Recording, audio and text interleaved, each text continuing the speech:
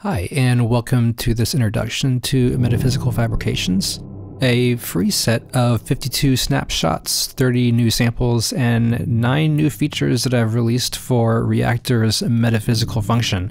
In this series of videos, I'll be showing you the new features, an overview of the sounds, and some of the sound design techniques that went into creating some of these sounds. Quick introduction my name is Christian Kjeldsen. I've been a professional sound designer for the past 12 years. 10 of those years were spent as a staff sound designer for Rockstar Games, creating sound for many of their games, including Grand Theft Auto 5 and Red Dead Redemption. I've also done a lot of sound design work on a variety of Camel Audio's sound releases for Alchemy and more recently for Alchemy in Logic X. So, why metaphysical function? Well, it was actually one of the first professional sound design projects I ever worked on, marking the beginning of my career as a sound designer.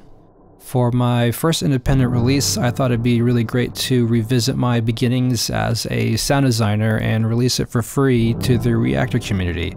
I approached making these sounds from the perspective of pure sound design and letting my creative juices flow. When making these sounds, there wasn't any genre or category of sound in mind, just to make sounds that are fun to listen to and fun to play with. So let's take a look at some of these sounds and some of the samples used to drive the sound design in these snapshots. A lot of the snapshots use samples that I've created over the years using a variety of synthesis techniques, and on their own they sound pretty cool, but they take on a new form in metaphysical function.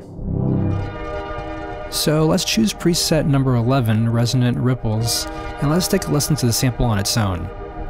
I'm going to double click on the waveform window. We can see via the select parameter that we're using number 79. Click on sample number 79 in the sample map window. And that's what the sample sounds like on its own. If we bring the volume of the sample down, we can hear that it adds a lot to the patch, but still sounds very different.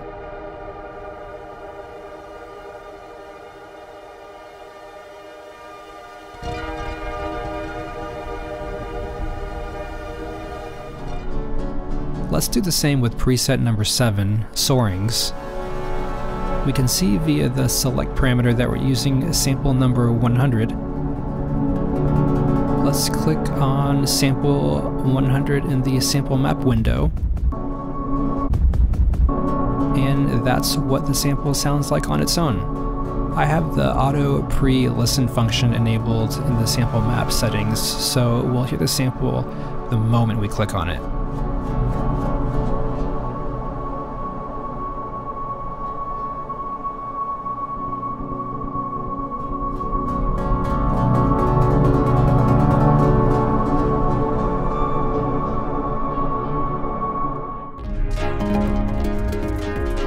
Let's check out preset number 20 now, Resobliss.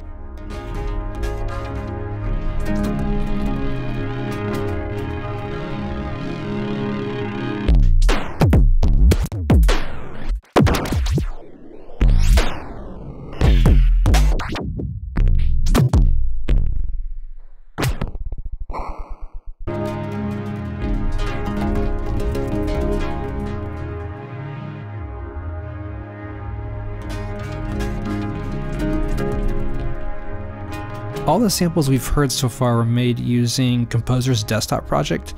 It's now a free program that does a lot of really cool and unique sound transformations, so I definitely recommend checking that out. So let's take a listen to preset number 17, Sleepy Hallows Eve.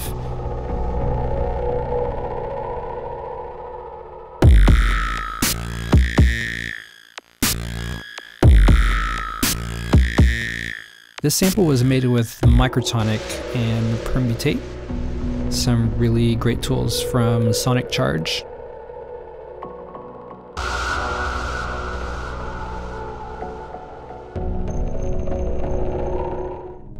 And let's take a listen to preset number 9, Resonant Flame.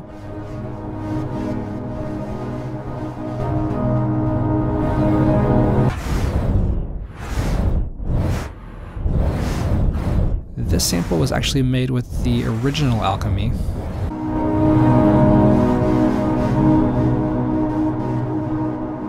So you can hear that the original samples take on a whole new form in the sound design of these presets.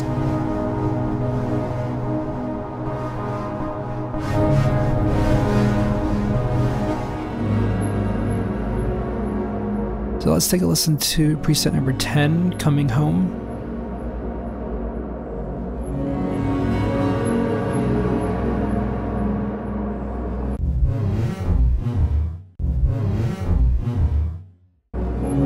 This sample was again made with Composers Desktop Project.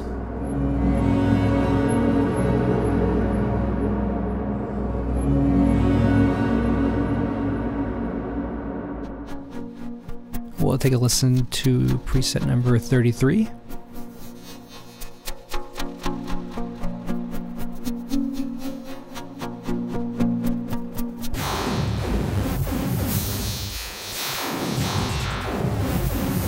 This is actually made with a custom Reaktor patch that I'll be releasing soon, so stay tuned for that one.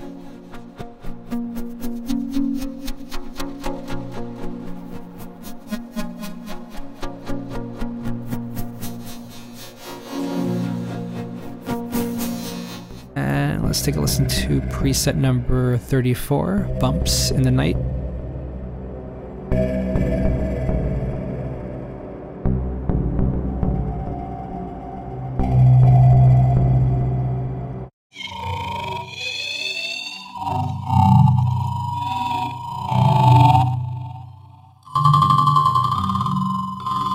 This was made by processing some dialogue with Reaktor's Travelizer ensemble.